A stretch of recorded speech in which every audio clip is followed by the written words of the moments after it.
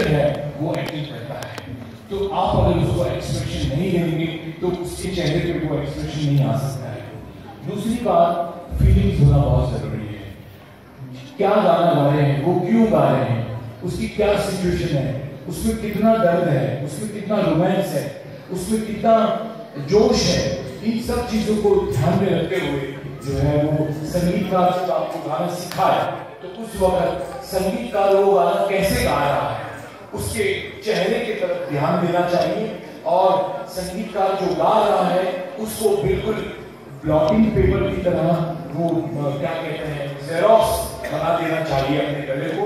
और जब मौका मिले माइक पर जाने का तो वही फीलिंग्स के साथ उसे गाना चाहिए।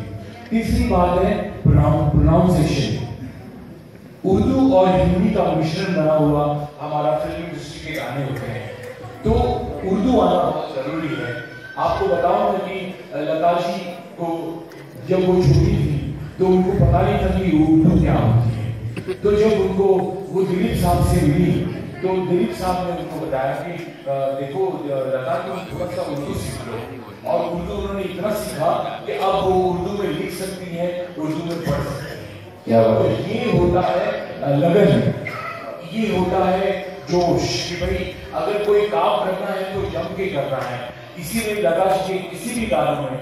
उर्दू के जो अल्फाज जो आते हैं, बिल्कुल मोती के दाने की तरह आता है। रफी साहब तो वैसे ही उर्दू के माहिर थे किशोरा भी उर्दू के माहिर माहिर थे, और महेंद्र कपूर जी मनाली जी, ये लोग सब हिंदी और उर्दू के माहिर थे।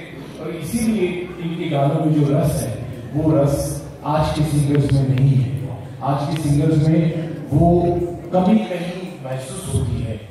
वो वज़न, शब्दों का वज़न थोड़ा सा कम रह जाता है। वॉइस क्वालिटी बहुत ज़रूरी है, क्योंकि आप किसी भी एक्टर जो इतना हैंडसम है, वो एक्टर जब आपका इस स्टेज अपने स्क्रीन पर आता है तो आपको आपकी वॉइस क्वालिटी में बेस आपकी वॉइस क्वालिटी में शार्पनेस और आपकी वॉइस क्वालिटी में मिड मिड ये तीनों चीज़ का करेक्ट मिश्रण होना चाहिए।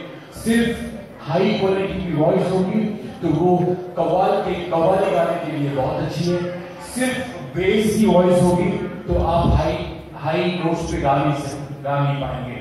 और इसीलिए बेस मिड और हाइस ये तीनों का मिश्रण करना चाहिए। जिसको भी प्लेबैक सिंगर बनना है, उसको, ये तीनों चीज़ों का ख्याल रखना है। अपने गुरु के पास बिल्कुल नतमस्तक होकर के रियाज करना है और रियाज कैसे करना है? तीस दिन में, तीस दिन में, पैंतीस दिन रियाज करना है। आप तीस दिन में उन्नीस दिन रियाज करोगे तो जो एक दिन छूट गया है, वो एक दिन जो छूटा रियाज है, वो तीस दिन के रियाज पे पानी फेर देगा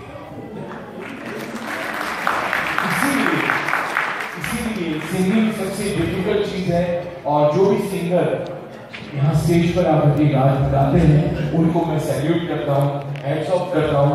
भले वो बिस्ला गाए भले वो थोड़ा कम गा लेकिन उनका जिगर उनका जिगर जो है, बड़ा गजब का है कि वो चाहे बिस्ला गाते हैं, लेकिन स्टेज पे आकर के गाना गाते हैं। ये बहुत बड़ी बात है।